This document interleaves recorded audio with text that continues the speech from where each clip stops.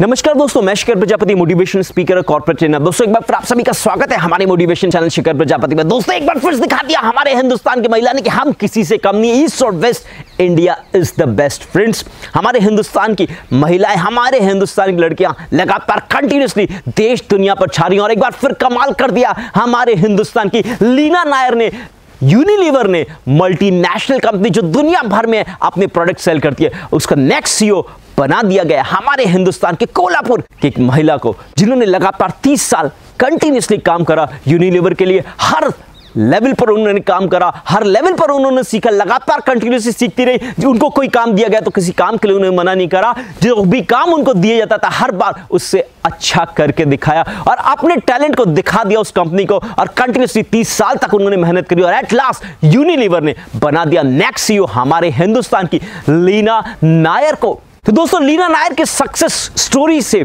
हम एक बात तो ज़रूर सीख सकते हैं कि हमें जितना काम दिया जाता है, हमें हर बार उससे थोड़ा सा एक्स्ट्रा करना चाहिए। डेफिनेटली हम लाइफ में ग्रोथ प्राप्त करते जाएँगे और लगातार कंटिन्यूसली आपको सीखते रहना होगा। जब लीना नायर से पूछा गया what is the secret behind your success तो उन्होंने बोला कि मैं लगातार कंटिन्यूसली सीखती रहती हूँ। You should be a life long learner और साथ में अपनी टीम को मोटिवेट करते रहिए। उन्होंने बोला कि मैं अपनी टीम को कंटिन्यूसली मोटिवेट करती रहती हूँ और उनको बोलती हूँ कि हाँ, तुम कर सकते हो। Yes you can do it friends अगर आप में भी विश्वास है तो definitely you can achieve any target so friends last में चलते चलते एक ग्रेट सैल्यूट तो हमारे हिंदुस्तान की लीना नायर के लिए दोस्तों बनता ही बनता है।